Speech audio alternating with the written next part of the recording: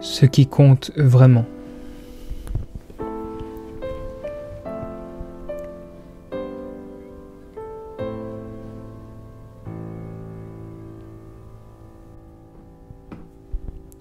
Quand tu réalises que ce qui compte réellement est déjà ici, là, maintenant, et pas demain dans l'instant d'après, alors cette simple réalisation change absolument tout.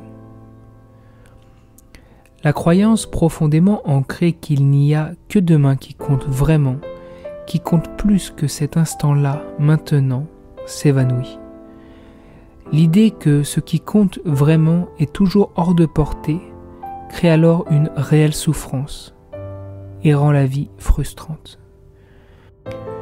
Et pourtant vous le savez, oui, vous le savez que la vie ne consiste qu'en cet instant, qu'en maintenant. L'invitation est donc de plonger profondément dans maintenant, dans cet instant présent, sans attendre quelque chose de plus signifiant, de plus important dans le prochain moment. On devient à l'aise, détendu, d'être simplement là, et on se débarrasse maintenant de l'illusion qu'il y a quelque chose qui est absent de ma vie, quelque chose qui n'aurait pas dû m'arriver, ou qui ne devrait pas m'arriver l'illusion qu'il y a quelque chose qui ne va pas, qui s'améliorera, que j'arriverai à atteindre ou à me débarrasser un jour, cette illusion que tout cela découlera vers un bonheur permanent tombe. C'est aussi valable pour la croyance du chercheur spirituel qui se dit que tout ira bien quand il sera réalisé, illuminé.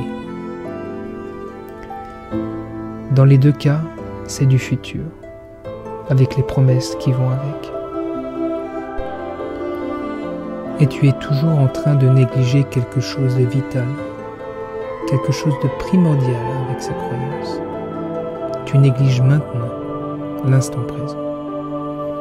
Et c'est vraiment facile à négliger, parce que les mouvements de la pensée sont tellement séduisantes et hypnotiques qu'elles rendent le moment présent sans intérêt, ennuyeux inutile.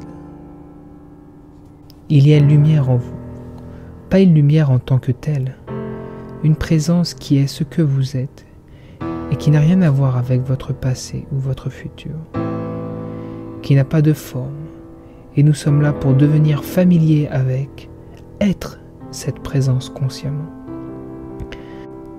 Si cela te semble bon et juste pour toi, ce moment d'être là, et d'entendre ça et presque reconnaître la vérité de ça.